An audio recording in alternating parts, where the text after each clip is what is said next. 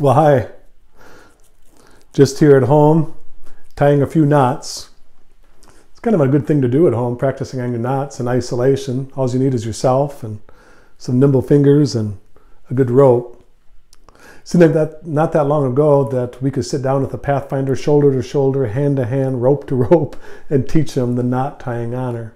But it seems to me that perhaps we could still teach the knot tying honor with them in isolation. At the end of this video, I've got a few links to some sites that are, have some really good techniques in, in teaching knot tying. There's lots of them out there, but I just put two or three out there. Reminds me of a story when I was a kid, learning the braiding honor, and braiding similar to knots. Our teacher had put a two by four out and nails every foot or 16 inches apart. And we stood side by side and working that, um, with our braid, with our, our lanyard hook on the end and doing a three strand braid. I could not get that braid. If you paid me a hundred dollars, I could not get that braid that day. Simple braid. Couldn't get it. All my friends, especially the girl next to me, Wendy Alford, she's just whooping it out and I looked down there, and, and the pressure mounted. The more I saw my friends making great progress on their braid, and mine were all twisted. And Mrs. Cooper, my instructor there, she normally talked really, really loud. What's the matter? Hey, Craig, what's the matter? But she didn't do that today. Praise the Lord. She came up, she saw that I was struggling, and she said, Well, we're going to have to undo all of this. Well, great.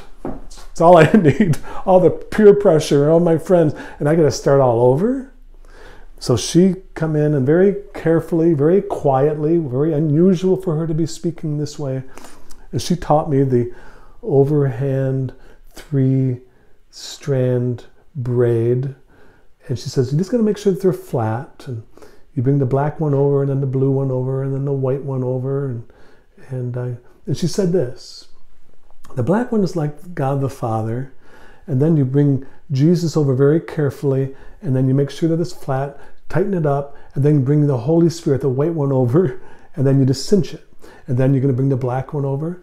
And she she's teaching me about the Father, the, the Son, and the Holy Spirit. What you, I had no idea what she was talking about.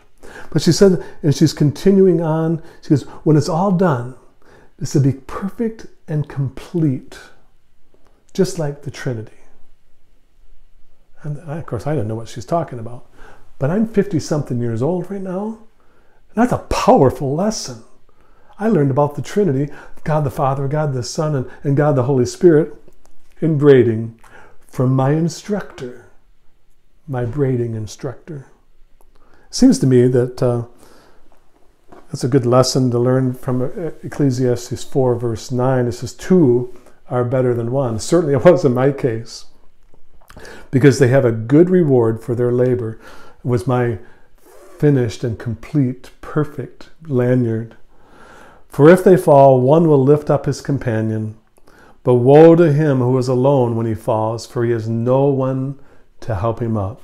Verse 12 Though one may be overpowered by another, two can withstand him, and a threefold cord is not easily broken. That's so true. Maybe while our pathfinders are in isolation, it's a good time for us to, to make a phone call. Maybe it's a good time for us to see if they have an email, to send an email to them or, or FaceTime them or something and encourage them to work on their knot tying honor. And maybe you use Ecclesiastes, use something that the Holy Spirit gives to you so that you can drop that little nugget of truth and then turn them loose. And when they're home working on their knot tying, they can remember that spiritual lesson while they're doing it. And maybe when they're 50 something years old, if, if we're on this earth, hopefully it comes before then, that they'll remember what you taught them.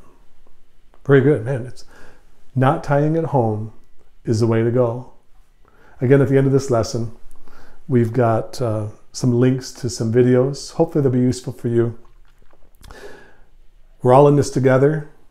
And so, I hope this is something that'll help you uh, along the lines of your invest- helping the Pathfinders earn their investiture achievement levels And so all I can say is this is Pathfinder strong. See you sometime.